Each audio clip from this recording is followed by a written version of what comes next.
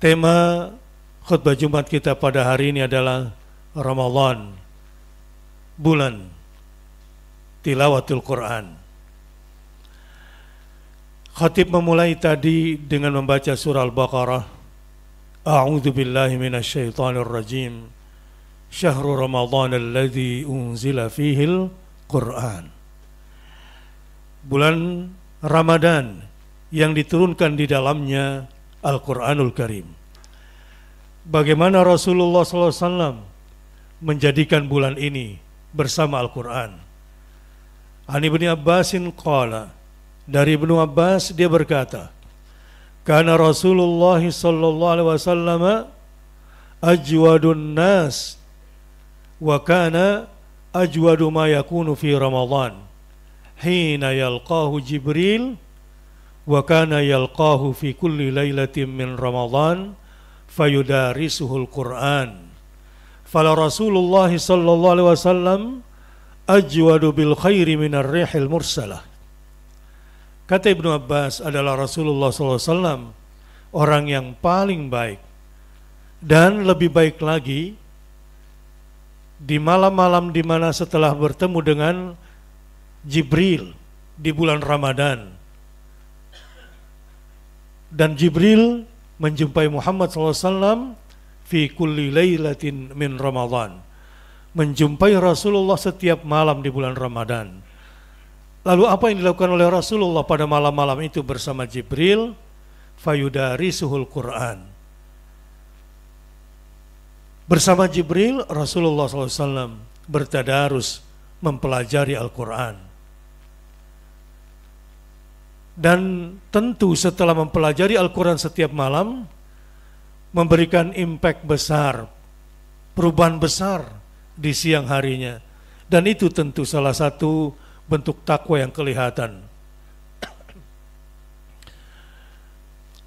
Apa yang terjadi pada siang harinya pada Rasulullah SAW dan di malam harinya setelah berjumpa dengan Jibril dan bertadarus Al-Quran.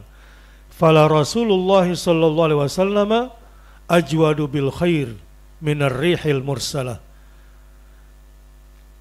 dan Rasulullah setelah berjumpa dengan Jibril dan bertadarus Al-Quran menjadi orang yang paling baik dan kebaikannya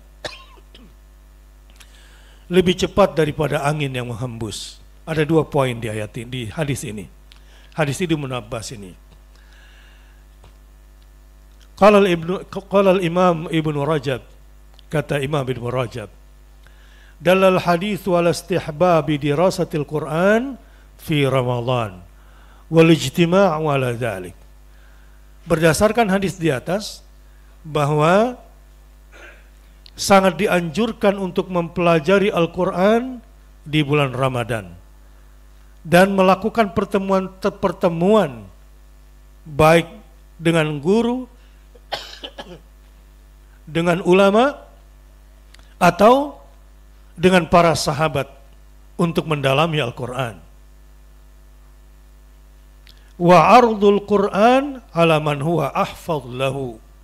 Dan bagi yang sudah hafid atau pernah lupa, hendaklah memperlihatkan, membacakan hafalannya di hadapan orang yang lebih hafal. Wa ardul Quran ala man huwa ahfad lahu. Yang kedua, wa fihi dalilun ala istihbabil iktsari min tilawatil Qur'ani fi syahri Ramadan. Hadis ini juga kata Ibnu Rajab menjadi dalil untuk memperbanyak membaca Quran di bulan Ramadan. Wa fi hadis Fatimah alaihi salam salam an abiha annahu akhbaraha anna Jibril alaihi salam kana yu'ariduhu al-Qur'an kulla amin marratan wa annahu aradahu fi ami wa fi ami wafatihi marratain.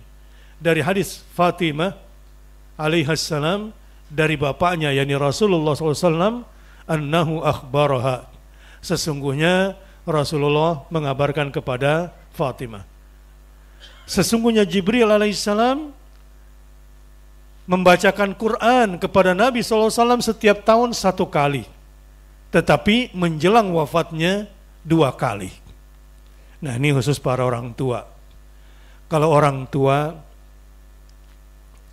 para ayah, para suami, apalagi sudah mulai menjelang tua, harusnya lebih banyak baca Qurannya.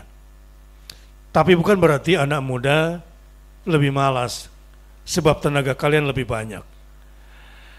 Namun sayangnya, sayangnya nih, umumnya umat Islam di bulan Ramadan ini malam-malamnya habis waktunya untuk melihat HP, nonton film, nonton-nonton video. Sampai kemudian ngantuknya menjelang sahur. Tidak sholat malam. Tidak baca Quran. Bangun cuma untuk makan. Nonton lagi. Tidur habis subuh. Terus sampai zuhur. Habis zuhur, sedikit melakukan aktivitas. Tidur lagi sampai asar. Nanti setelah asar, baru hidup lagi sampai maghrib menjelang buka puasa. Ini bukanlah contoh atau akhlak yang benar.